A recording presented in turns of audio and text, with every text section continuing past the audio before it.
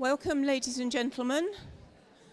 Thank you for coming out on such a horrible night. Um, and welcome to this, the last of the uh, lectures in the Medical Detectives lecture series. Uh, let me first introduce myself. I, am Dorothy Crawford, an assistant principal of the University for Public Understanding of Medicine, uh, which of course this lecture is a very good example of. Um, the inspiration behind this series of lectures, for those of you who haven't been previously, um, is of course uh, Sir Arthur Conan Doyle, who was a medical student at the university here from 1876 to 1881.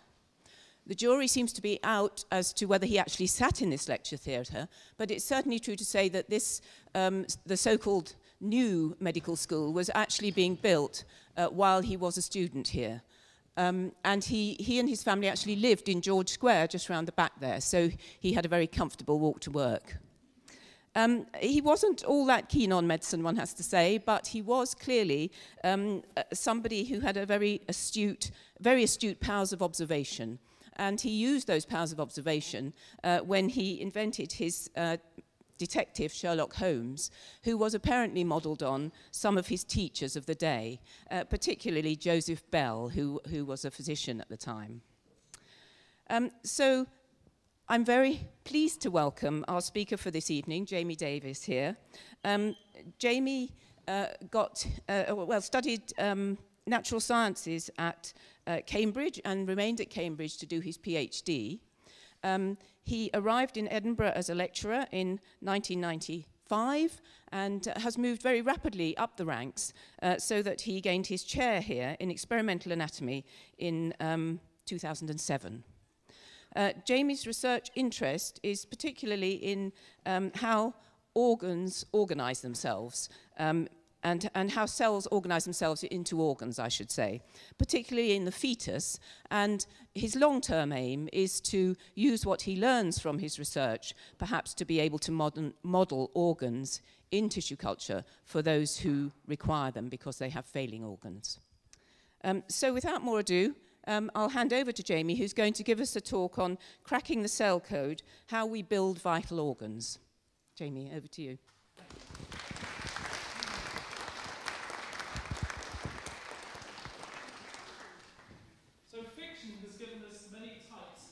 Detective. Famously, there is the brilliant lone private investigator, such as Sherlock Holmes, who could take a seemingly insignificant tiny piece of evidence and build a watertight case. There is the skilled amateur, ranging from Brother Cadfael in the 12th century to, for example, Miss Marple in the last century, who would busybody themselves into other people's lives and solve mysteries that the police could not come near. And then there are fictional detectives who are policemen, such as D.I. Rebus of This Fair City. Those of you who read his books will know that in The Falls, one of his critical interviews takes place right here at the end of this desk, where he interviews a medical student. As there are many kinds of fictional crime detectives, so there are many kinds of medical detectives. And if you've been coming to this series, you'll have heard of, from, um, from people who have been speaking from a perspective of working very close to patients and working on one specific disease and trying to identify the one particular poison or bacterium or whatever responsible for that disease and what to do about it. And that's one kind of immensely valuable medical detective. And then there are other medical detectives who step back and who ask very general questions about how the body works, in the hope that understanding more about how bodies work will open up vistas of opportunity for doing something about bodies that aren't working too well. So this last talk in the series is going to be about that kind of detection process, asking a big basic question about bodies, and then seeing how that can take us towards doing something practical for people who need help. So our big basic question is about how you can move from a very, very simple structure, like the fertilized egg at the top left of this picture, through some cell division, through cells becoming more specialized, through cells altering their shapes and their relations, to a simple embryo like the one on the bottom left of this picture, which is already really quite a complicated structure, right the way through to the baby born at the end of the picture, and even beyond the baby to the sort of individual who's got such a complex brain that they're not only independent, but they can come to a lecture theatre and look at a picture being projected and ask deep questions about why they came from. And that kind of, that kind of big question is our inspiration for the work that we do, but it is a very big question. It's one of the biggest in science, and it's, it's in that form, it's too large to be able to tackle head on.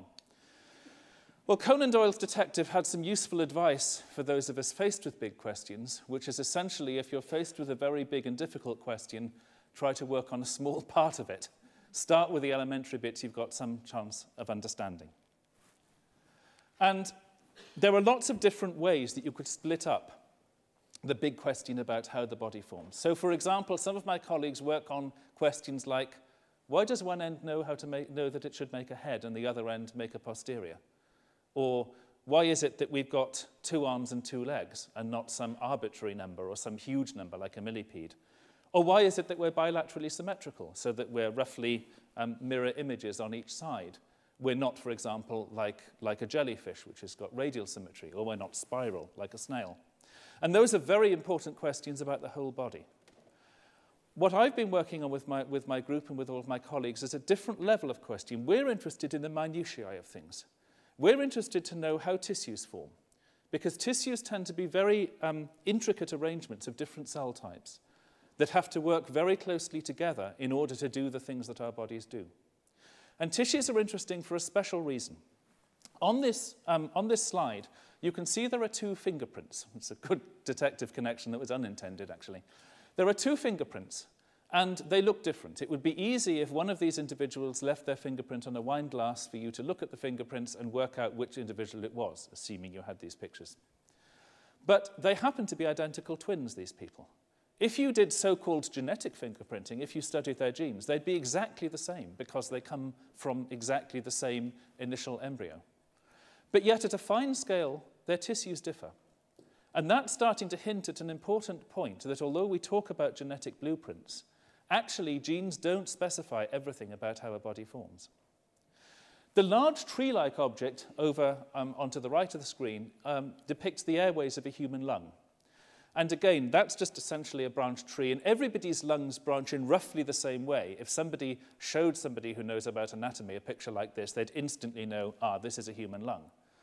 But even with twins, the exact shape of those branching trees isn't the same. Again, it makes the same point, point as the fingerprints, that, that we're not just turning genes into, directly into a set anatomy. The last picture shows the airways of a rat lung. Rat lungs are very similar to human lungs. The pictures are approximately to scale. And the reason they're both there is they make the obvious point that human lungs have got far more branches in their airways than rat lungs have. If in some way genes were specifying anatomy so that, so that they were specifying every little bit, then you'd expect to make a bigger branch structure in a lung or a kidney or a liver or whatever, but let's stick to the lung for a moment. Then you'd need far more genes to be able to specify it because there are far more branches there. But actually, humans and rats have about the same number of genes. And that's another indication that we can't just settle back on some explanation, oh, well, the anatomy comes from the genetic blueprint, move on. Something much more interesting is happening here. And that's one of the other reasons that we want to work in this area. Partly because, as, as um, Professor Crawford said, generating new tissues is very important um, medically, but partly because understanding how tissues are generated is, is at the heart of a big mystery about how you go from genes to the final body. Well, as well as the piece of advice from Conan Doyle, which, which you've already read at the top of the slide, another piece of advice, not from a detective but from a poet, applies very nicely to those of us who work in science. And this is a quotation from William Blake's Auguries of Innocence and talks about seeing the world in a grain of sand and eternity in an hour and so forth. And what that suggests is that it can be very valuable to take, if you have a big question, to find a microcosm, a grain of sand, that you can look at, you can hold in your hand. And you can study the grain of sand and get answers from that that can then tell you something about the way the whole world works. So it isn't just a question of taking a big problem but only working on one little bit of it. It's a question on choosing a little bit of it that can tell you a great deal about the whole problem. And that's something which is fairly universal in science. It's, it's the way that we struggle with complicated problems. So our favourite little bit of it is the kidney. And the one picture up here is from Gray's Anatomy, and it just shows in color the positions of the kidneys in a human in the lumbar part of the back. The other picture, the rotating movie, is an image of a mouse kidney which shows some of the internal anatomy. And it's partly just to illustrate the anatomy is somewhat complicated. There's a lot going on inside there. And also, to be honest, it's to show off a new sort of microscopy that's been developed in Edinburgh, and the university is quite proud of this. The structure inside a kidney is essentially a plumber's paradise. It's just a mass of pipes. And the pipes are arranged in a particular way. So behind me, there are, um, th there are millions of these pipes, but, but I've just drawn a few in colour on top of an old image from Gray's Anatomy, a book so old that Conan Doyle would have been using it in his studies. The green set of pipes forms a drainage system for the urine that the kidney makes, and that is a tree, and we'll talk quite a lot about that tree in a moment. The blue structures are called nephrons. One end of them filters blood, the glomerulus end, and then the filtrate passes along the tube where things that you don't want to lose from your body are recovered, and finally what is turning into urine is removed by that green branched collecting duct system. And the tubes, although in no two individuals are the tubes arranged in exactly the same way, so you could take a photograph of one and lay it on the photograph of another, statistically, they've got a very, very clear arrangement. Those blue tubes always extend to make loops in the direction shown. There are always relationships between the blue and the green tubes that are statistically similar all the way through. So this is a system where we think we can study it to ask how does all of this similarity happen, and then understand something about how, how tissues form in general. The next slide gives another reason. It's the only slide that may be a little bit off-putting, so I've got the warning here. The other reason for working on kidneys is that kidneys have problems in some people. So this slide shows examples of kidneys that are polycystic. That means that, that what should have been those very fine tubes have blown up to make huge fluid-filled cysts because we now know essentially the cells in the tubes have lost their sense of direction and they don't understand the difference between growing out this way and elongating to make a fine tube that way. And these cysts end up taking the whole of the volume of the kidney and squeezing out the good tissue. And people who suffer this and a lot of other renal diseases end up in the position that they have to have their diseased kidneys removed typically, and they're kept alive on dialysis, which is a, a wonderful technique, but it's not much fun, in the hope that they may get a transplant one day. And as I'm sure you all know, there's a great shortage of transplants and there are problems of not getting transplants rejected. And for this reason, it would be very nice if we could understand how kidneys are built enough that we could build new kidney tissue to help people who have this sort of problem. Okay, if you were looking away, it's safe to look again now. This picture illustrates, it's a movie taken by my colleagues in the MRC Human Genetics Unit, Peter Hohenstein and Rachel Berry, and it shows a kidney which has been removed from a mouse embryo and put in a petri dish. And if you do that under the right conditions, the kidney is very happy to grow. And I'm showing you the movie because apart from the fact that it shows you how kidneys start to grow, it makes two very important points that make this system attractive for us. One of them is the very fact you can see the growth happening there tells you the kidney doesn't need any special influences in the rest of the embryo. The, whatever the kidney needs, the kidney is enough to provide it. And that removes a huge headache for us because it means that if we study kidney formation, we can concentrate on the kidney and we can forget about everything else that's going on in a very complicated embryo doing thousands of other very complicated things. The second thing, which is a major plus, is that it means we can do an awful lot of our experiments in that Petri dish so that we can interfere with kidney development in particular ways to test ideas, and we don't have to do the experiments in the context of a living animal. And this cuts down the numbers of animal experiments, and it's something this university in particular is putting a lot of effort into, to trying to find ways of doing... We'll never be able to eliminate animal experiments. There are sometimes there's only one way to do it. But as far as possible, we want to find ways of doing our research without having to do animal experiments and put off the time that we finally have to verify it in a, in a complete living animal. So the kidney starts off a very, very simple structure, essentially two cell types. So in the colored picture, there are the cells that are colored green, which are, it's, it's a structure called the ureteric bud, and that will make the tree-like urine collecting ducts. And then the cells that are only colored, red, I apologize if anyone's red-green colorblind, but there won't be many of these, uh, of these images. Um, the cells that are only colored red are called mesenchymal cells, and the mesenchymal cells, some of them will remain mesenchyme forever, and others will go on to form the structure in the cartoon that's blue. That's the structure that will make the nephrons. And the, that's as, as, apart from the blood system that comes in from outside, this is all you need to start the kidney going. So here is a plea that any scientist would recognize from, from Sherlock Holmes, which is just a desperation for information. And we're very lucky in Edinburgh because we sit right in the middle of a huge international project which is funded by the National Institutes of Health um, in the USA. And what the project is designed to do is to find information about all of the changing anatomy of a de developing kidney and also of what proteins are expressed in every cell type all the way through kidney development. So the, the project funds laboratories in the USA and in Australia who make large-scale studies of literally tens of thousands of types of gene in hundreds of different cell types in dozens of different time points. And they spray megabytes of data towards us, and we run a database that looks after it all. And it's all freely available. If you, if you Google that word GUDMAP, you can have a look at the data yourself. It will be somewhat dry reading, I suspect, but it's there and is available for everybody. And it's very useful because it means that we are, we are getting data firehosed at us down a fiber optic cable all the time. So we have plenty of information and it keeps coming.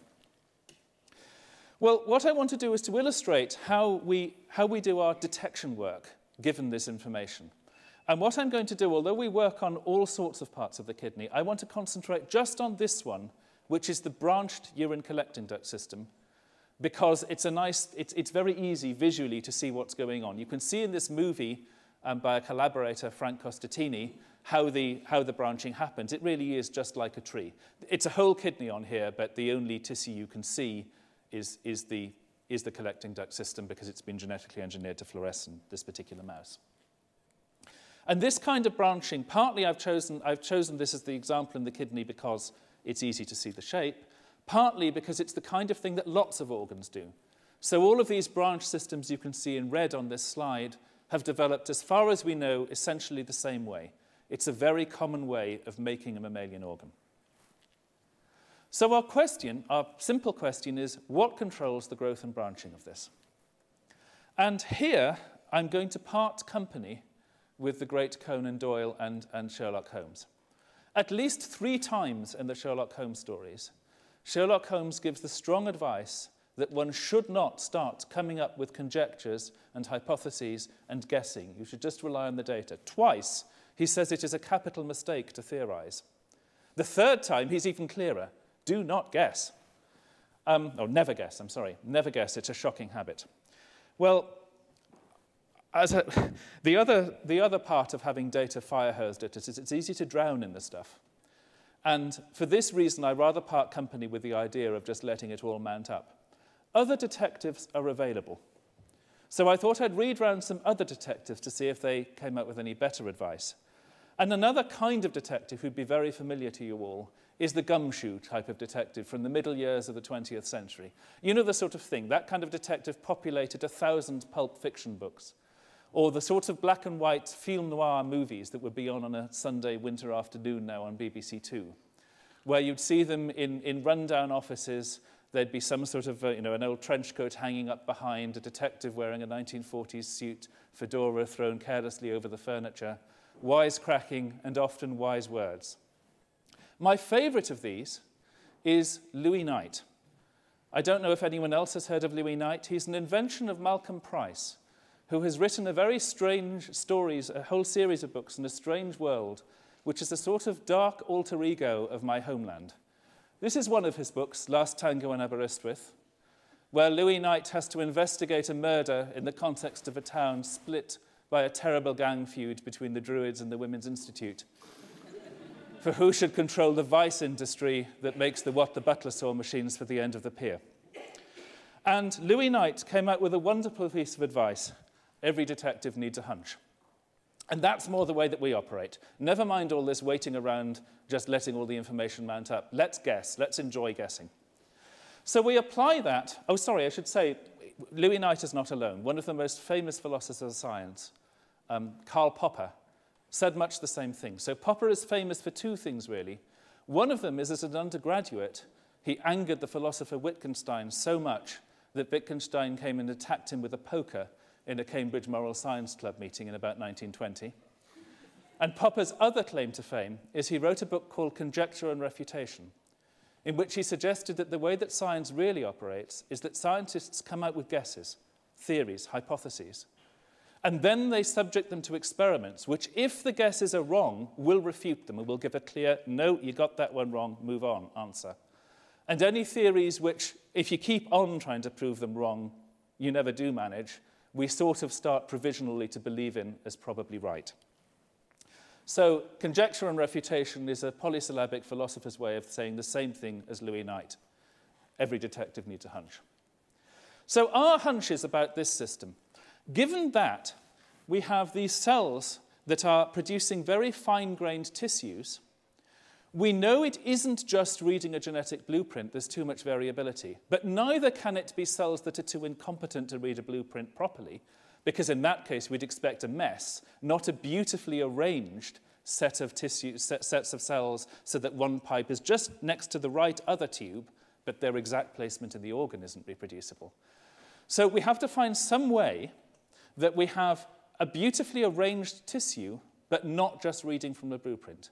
And one of the guesses we can make is that the cells talk to each other so that they can organize themselves in much the same way that people trying to get up the stairs are organizing, either speaking or just exchanging looks to work out who's going to go through the door first, to organize yourselves to get into here.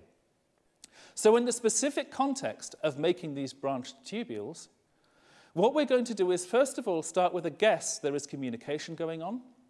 And in this specific case, we'll take a guess that the cells that surround the branching tubes are going to talk to the branching tubes.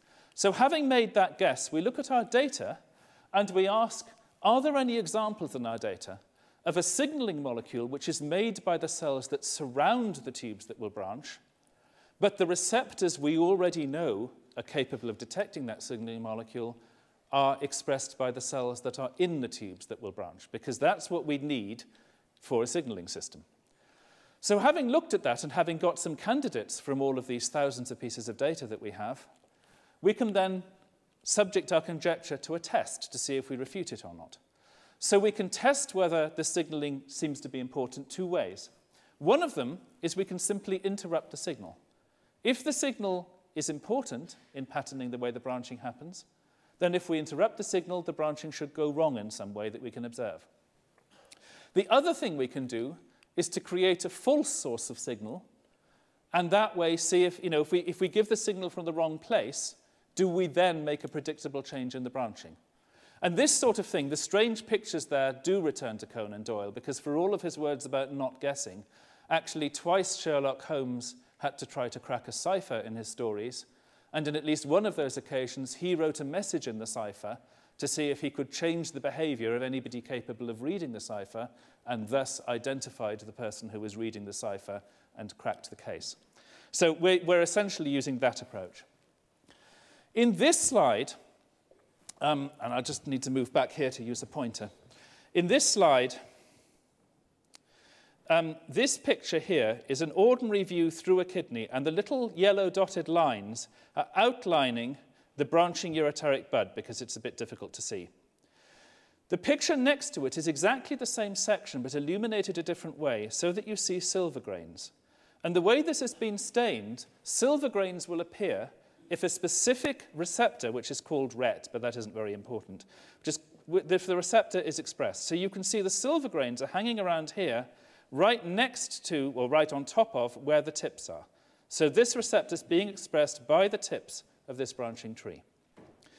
RET is a receptor for a molecule called GDNF, and GDNF is expressed in a quite different way. So again, the yellow dotted line shows where this budding tree is. You can see the tree itself is quite dark here, but the cells around it are expressing lots of GDNF and giving lots of silver grains. So these are set up in exactly the way that we'd expect something to be set up if it were going to be signaling. So we can do one of our tests. We can interrupt the signal. So what we're going to do here is we use an antibody which binds the GDNF molecule, and it physically gets in the way of GDNF then binding its receptor, because antibodies are large molecules, and they just simply get in the way.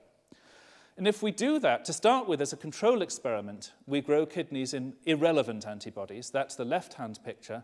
There, we're seeing perfectly ordinary branching happening. The antibodies have nothing to do with GDNF. That's just a test to make sure that antibodies per se aren't going to do anything to branching.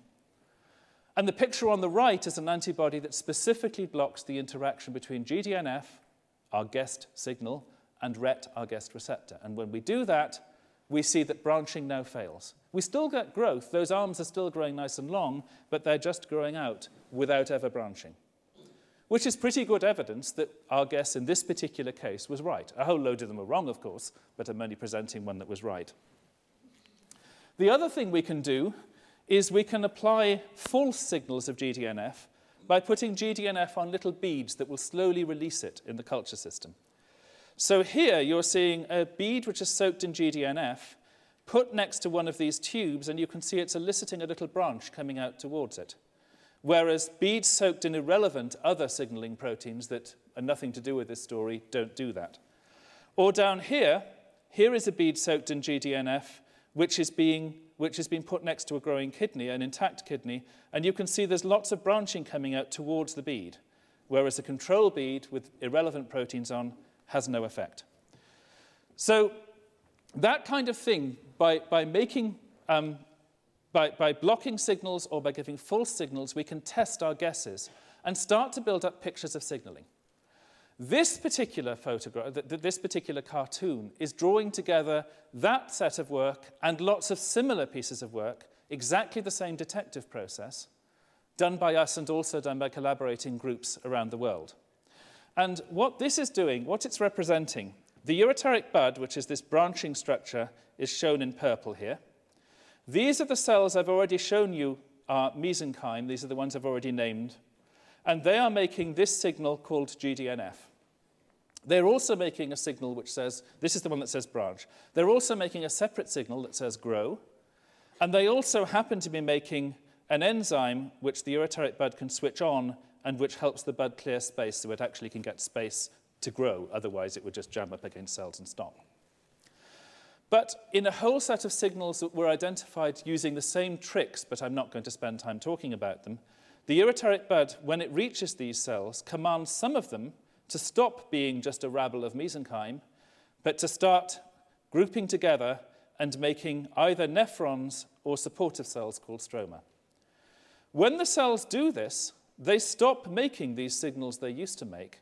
They start to make new signals. Again, the colors match the, the tissue and the signal. They start to make new signals that say things like, keep out, do not send a branch here. Or, yes, please elongate, please get to be a longer tube, but don't branch out here. This makes a kind of sense because as all of this is happening, the last thing these cells want when they're making a nephron is some great big branch from the ureteric bud to come charging through them, messing things up. We'll return, so th this is just an illustration that there are lots of different signals going on here. We'll return to a slightly modified version of this cartoon in a moment.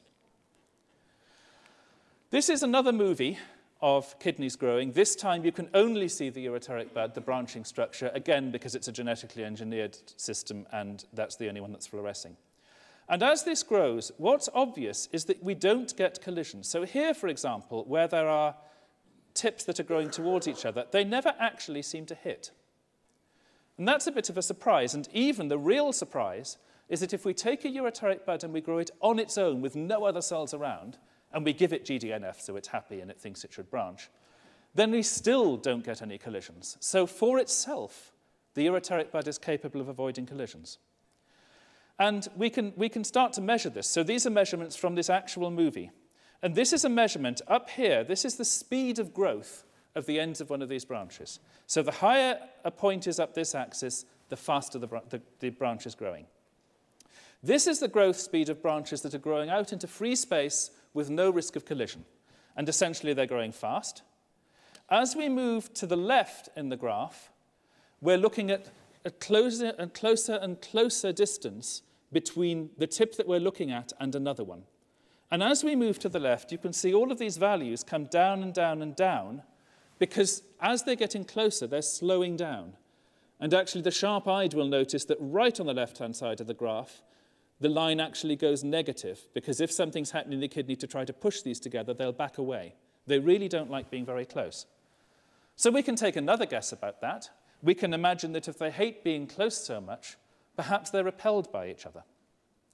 And here we can take, I, am using this to illustrate another way of, of exploring things, which is not to do experiments at all at first, but just to set up models of developing systems on a computer.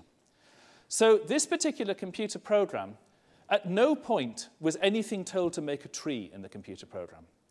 What it was told is that ureteric bud is going to obey a very specific, the model ureteric bud is going to obey some rules.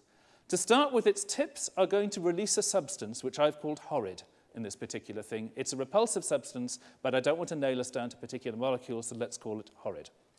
And you can see in the right-hand frame of this movie, um, that's, that's just a contour map of how much horrid is around. So red means lots, and blue means less, and so forth, and black means very little. And the, the tips, the computer has these simple rules.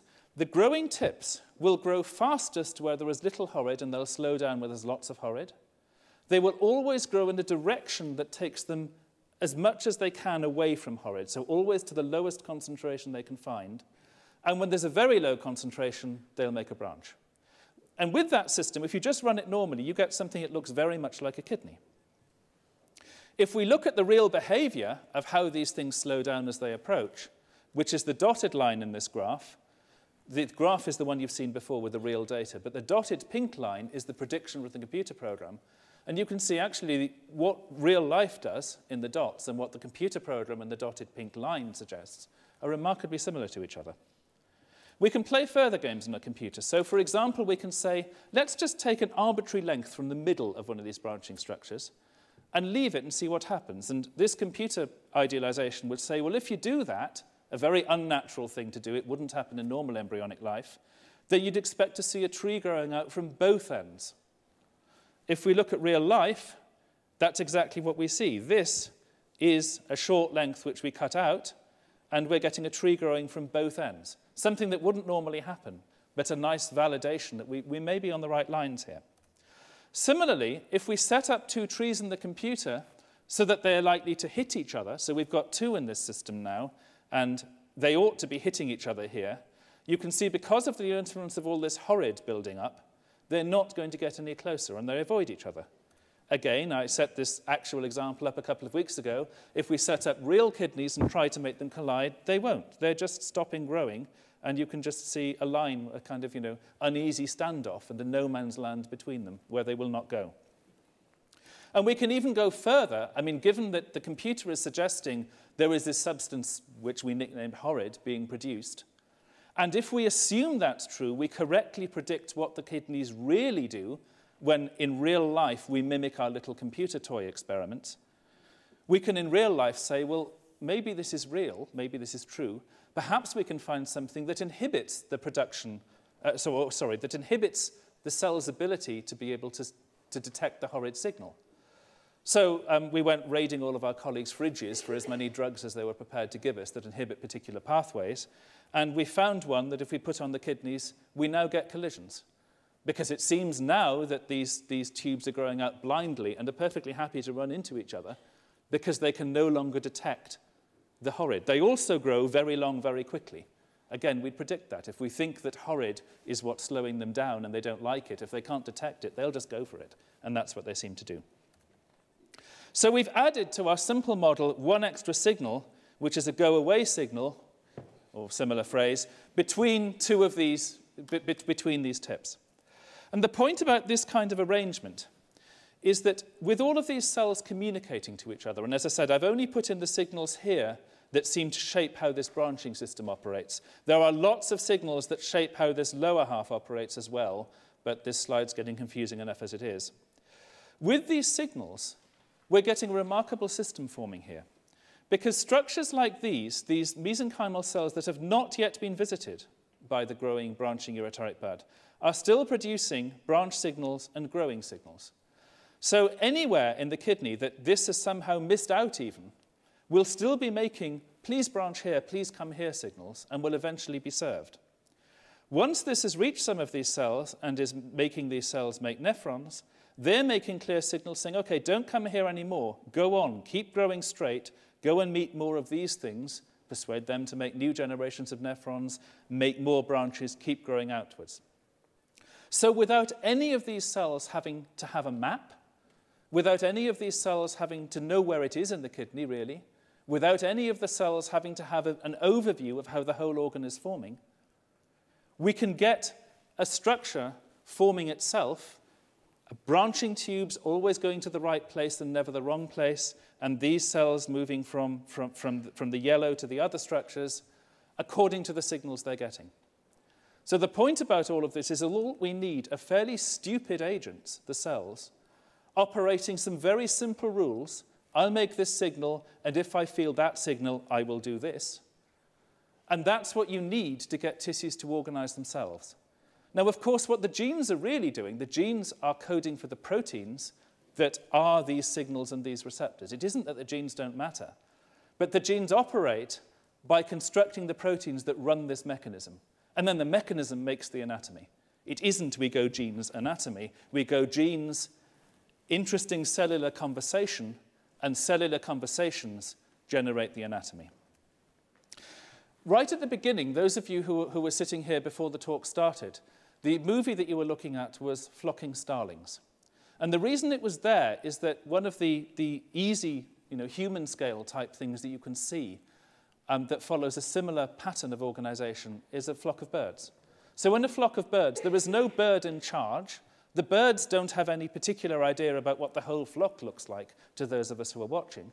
What happens in the flock of birds is that individual birds follow fairly simple rules depending on what their neighbors are doing, they will fly this way or that way or speed up or slow down. But the net effect is that spectacular display of the, of the starlings dance that you saw at the beginning and this little still picture here. So in the left-hand picture, you're seeing a convenient scale of birds, individual agents following simple rules in a dumb way, doing something utterly remarkable. And in the right-hand picture, you're seeing a whole bunch of kidney cells, individual agents doing something in a dumb way, with remarkable final results, producing spectacularly complicated anatomies. And this is actually one of the sort of unifying principles of modern biology. You can go right down to individual molecules, which of course are fairly dumb things, they're just chemicals, that bring themselves together following the simple rules of physical chemistry. And we move up to cells that by communicating with each other are just following simple rules, but doing something remarkable and then entire organisms, such as the birds, themselves constructed, of course, by cells doing remarkable things, that do the same idea simple agents following simple rules. with all the feedback in the system makes it remarkable. All you have to do is to go up the Scott Monument and look down on Princes Street, and you'll see pedestrians doing much the same thing, as with none of them having to read a choreography, they all manage to get through the Christmas crowds without mowing each other down or being run over, mostly. So that's, that's the kind of, that's what we learnt from our basic scientific question of how do tissues organize themselves. And it seems that, that lots of conversations and simple rules, that's the message we're getting back. Can we use this medically? As I said, it would be very valuable to be able to construct new tissues. And I was thinking for some years about how we might use this. And then to the laboratory came um, a young postdoctoral fellow called Mathieu Unbekandt, who took a wonderfully literal minded approach. And he just sort of said, look, if you're right about all this self organization, you should just be able to take a developing organ to pieces, just to individual cells that have nothing to do with each other anymore, throw them together in a completely random way, and if you're right, they'll do something remarkable and they'll organize themselves into tissue. And I kind of thought, oh, yeah, I should have thought of that years ago. Um, so that's exactly what he did. And in this picture, you can see a cartoon in the top of what he was doing. So to start with some embryonic mouse kidneys, to reduce them to individual cells, and the photograph, the real photographs on the left, show you it really is just a suspension of individual cells there. Throw them together any old how, just, just by putting them in a centrifuge tube and spinning them hard so that they form a great lump at the bottom of the tube. And then watch, see what happens. And the, these other pictures just here are simply um, examples of differently stained cells to show it really is a completely random mix in here. If you just do that in the simple-minded way I said, the cells all die because mammalian cells don't like being on their own, and they tend to kill themselves out of a loneliness process called anoikis. But Mathieu managed to develop a drug system that would, would just tide them over for just a few hours until they got back again together and then could take the drug away, and that saved their lives. So if he did that, what you see here is just an ordinary, you know, bright light view of the random mix of cells. And then a day later, two days later, three days later, and so forth, you can see quite spontaneously structure is starting to form in there. And if we stain this with stains that, we, that I've already been showing you that show different parts of the kidney, you can see inside that we've got beautiful branched um, ureteric bud and, and urine collecting duct systems forming, shown in green. And around them, just shown in red, we've got nephrons starting to form. And if we look at high, at high magnification, these nephrons are, I mean, you have to take my word for this, I suppose, but they're, they're forming exactly the structures we see in normal embryonic development of the kidney. And all the way along here, these, these colors are just stains for different proteins that are characteristic of developing kidneys. And the bottom line is they're all expressed at the right time in the right place. These two pictures, this is a real embryonic kidney over on the right. The one on the left is one of our tissue-engineered, reaggregated pieces of tissue. And although the real kidney's got its beautiful round shape and the engineered one hasn't, apart from that, the internal anatomies are basically the same. These cells really have, despite the fact that we started them as a random mess, organized themselves beautifully into something very much like kidney tissue. We can also go on and ask, are they making all of the kidney cells they're supposed to? Well, really, the only important part of this slide is in the red box. All of the other bits of that picture are just controls to make sure our technique's working properly. And what this slide is showing, down these words that are coming down here are different cell types in the kidney. And each of these cell types expresses different proteins. And what we've done here is chosen a protein which is expressed uniquely in this cell type. So, for example, this one called claudin-8 is only expressed in the descending thick limb. This one, aquaporin-2, is only expressed in a collecting duct principal cell. The details of the cells don't matter. The point is that if we look in our tissue-engineered reaggregated kidneys, every one of these is being made, suggesting that every one of the types of cell that should be in these tubes is actually being formed properly. There isn't a blood system in here. As I said, that comes from outside. A kidney without a blood system, a tissue-engineered kidney without a blood system, would be completely useless. I mean, the main point of a kidney is that it filters blood. It does a few other things, but, but the really big task that, that you're needing kidneys to do is filter your blood. Right now, a fifth of the output of your heart is going through your kidneys. Um, they, they, they take a huge amount of blood and they clean it up. So what we'd need to do to, make, to, to find this, our system any use is to give it a blood system. And recently, um, we've been starting to explore a, a, way of doing that just as a test, just as a basic test of principle. And this uses chicken eggs. So this is a perfectly ordinary chicken egg here. And its shell has been removed of the top half. And this is a little chicken embryo. So this is going to be its head. That will be its tail. It's far too young to have formed wings and legs and things yet. But what it's formed in, on a membrane that goes across the top of the yolk is a very rich blood system. This is entirely normal. This is what birds do. That's the blood system that will take nutrients from the yolk and will take oxygen from the air.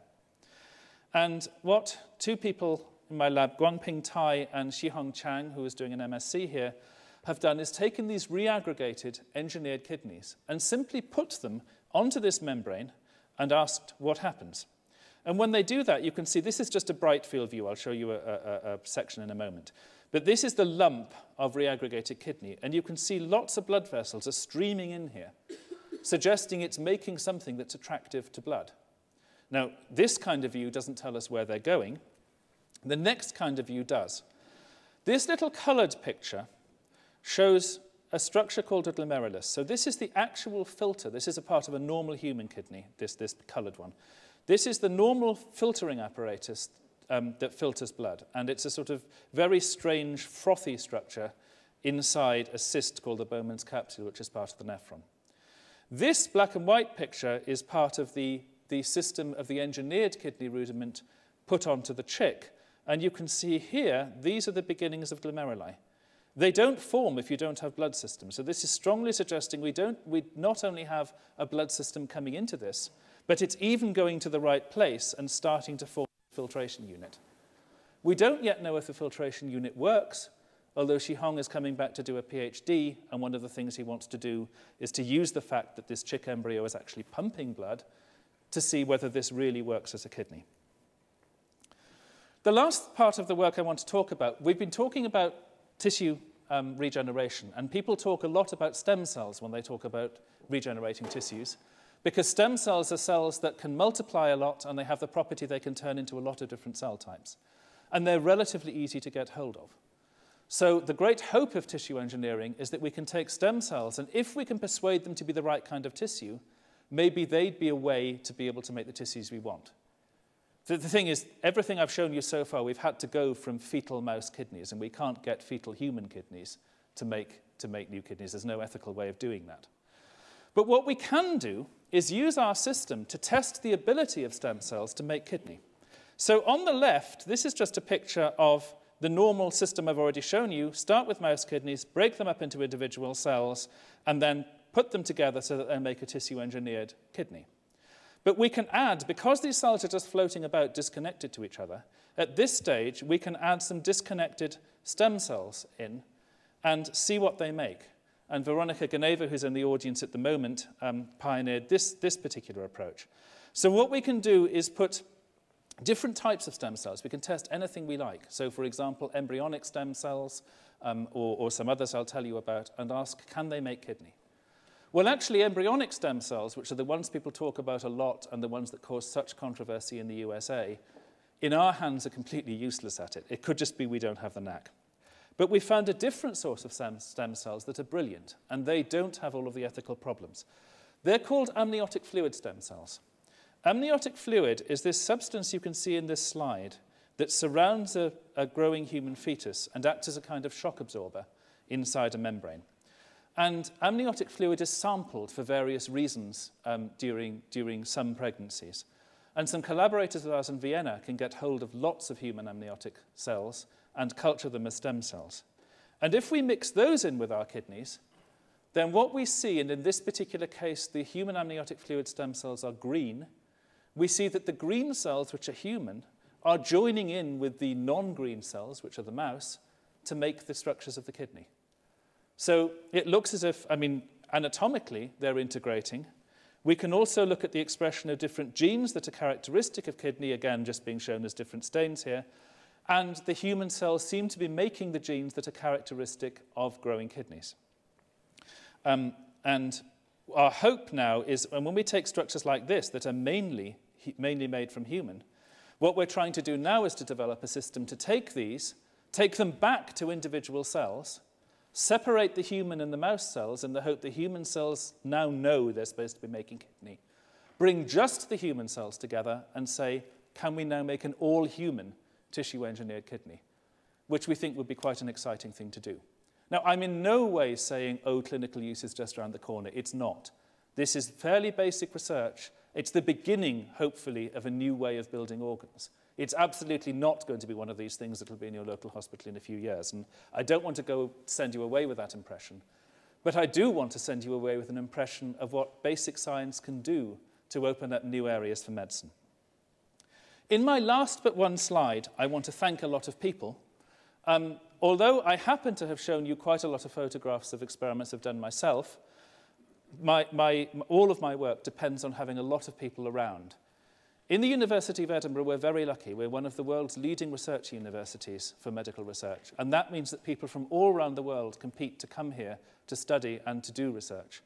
And I've had the great good fortune to work from, with, with a wonderful bunch of people from all around the world um, who've been working on this and other projects. Um, the main photograph, it's slightly out of date, but I wanted to thank some people who've contributed to what I've told you. The main photograph shows my lab as it was a couple of years ago. There are a couple of new arrivals who were shown as extras. And then we've got intensely valued collaborators in the human genetics unit across town and at Little France. I'm just almost out of town. And we've been receiving funding from a lot of different government bodies and also critically from charities. If you have ever given something to a medical charity shop, if you've ever put a coin into a shaken bucket or bought anything from the shop, or made any other contribution such as sponsored diving in custard or whatever, I'm genuinely very, very grateful for what you've done because we can't do this work without you. The last part of what I said was all to do with, with medicine and with application.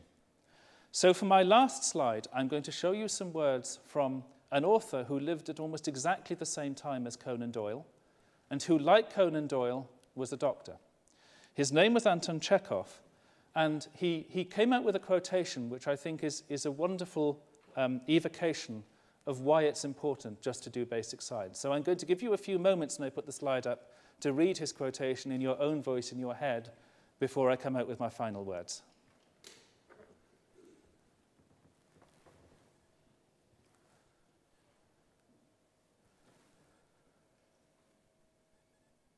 Those words are, for me, a wonderful statement of why we scientists bother to put our white coats on in the morning and why some of you who are young enough to be thinking about what career you should choose might want to think about putting on a white coat for the rest of your lives. Ladies and gentlemen, thank you so much for your attention.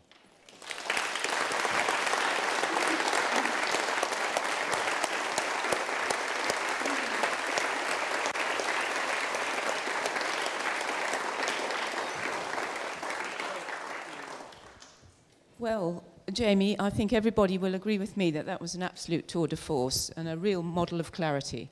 Uh, my niece, who was a student here a few years ago, said to me, Jamie Davies is the best lecturer I've had, and now I agree with her. So it was wonderful. And I, am sure uh, there are questions out there, and we have a few minutes. Um, so if anybody would like to ask a question, please raise your hand, and we will bring you a microphone.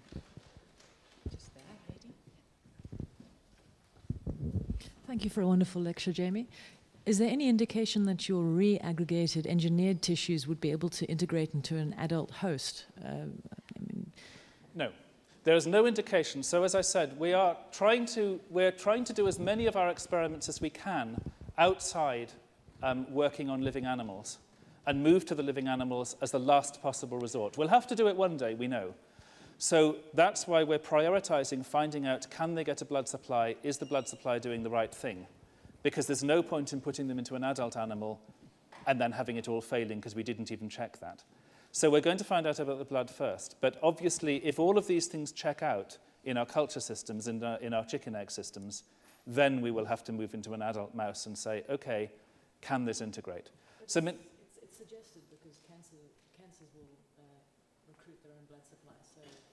Yes, but we're interested not just in a blood supply to keep the tissue alive, but, but blood which will go into form a glomerulus and will actually be filtered.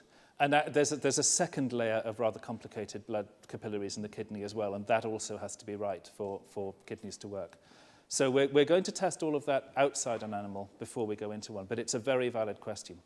One of the other things that, that has been done, not by us, but by other people in living mice, is, the, is grafting in embryonic kidneys, letting them grow for a while, removing the adult kidney and then showing the mouse can survive for quite a long time on the, on the grown-up embryonic ones. And that's why we think we may not have to build anything the size of an adult kidney. If our engineered system can build something as good as an embryonic kidney, that might actually be enough.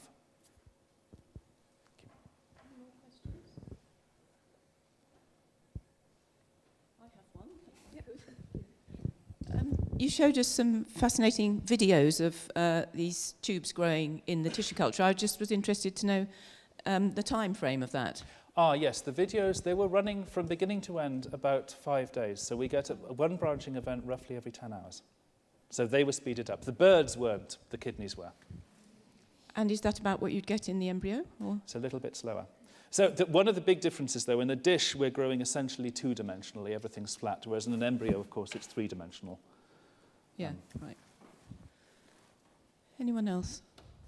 Some animals regenerate their own bits naturally, yes. don't they? Yes. Are there any clues there that would help in the direction you've been looking? Yes. Um, so, so the big clue is that those animals seem to be capable of going from mature tissue states to very immature tissue states characteristic of the embryo easily. Um, so everything up to, in evolutionary terms, everything up to about amphibians are very good at that. But beyond, reptiles, mammals, and birds are really not very good at it. And people are at the moment working very intensively to be able to work out can we persuade our kinds of tissues to easily slip back in time to make an embryonic state that can then go forwards again to build new. But there is always hanging over this field the awkward question is there a good reason that we lost that ability? So many years ago, before I worked on kidneys, I used to work on brain development. And the clinical spin-off of what we were doing was hope, hopefully allowing brains to regenerate, you know, for example, after there's been a stroke or, or a lesion of a spinal cord to let, let nerves grow back. But always haunting us then, and I think still haunting people to some extent, is if you release all of the inhibition of regrowth that's in an adult brain, what would happen to the person, to the memories, to the personality? How much would change, and how much would you actually want to change? So we don't yet know whether there's a good reason that we're terrible at rebuilding ourselves. I hope there isn't a good reason. And if there is, we'll just have to work around it. Ah, a question right up at the back. Can you... Yeah, I was wondering about the proteins and signals. How many different organs does that work for? So that particular protein that I was talking about, GDNF, is used in about three organs. It's used in the kidney, it's used in the gut, and it's used in the brain. But the general principle of proteins, of cells signaling to each other using proteins, that's universal as far as we can tell. It's just a different protein. We have about two and a half thousand different proteins that we can use that way. And different tissues use different ones, but the idea is the same. It's a bit like humans speaking different languages, but the idea of human communication is the same. Yeah, so then in theory, if you can grow a kidney, you could be able to grow any organ, including the brain. Indeed, the brain might be a tough one. we're at the moment following Holmes's dictum, we're sticking to the simple stuff. But um, we've already been doing experiments on lung, for example, And we're starting experiments on testis because that may be of interest to people who are trying to keep rare breeds going because, because we can, our system allows us to grow organs from different sources of cells. We could, in principle, make a testis from an easy to obtain animal like a cow, but have it making sperm characteristic of a fantastically rare breed, which may be of interest to zoos. You never know. It's fun to think of these Frankenstein things of a dark afternoon. Okay, so could you just join with me in thanking Jamie again for an absolutely marvellous lecture?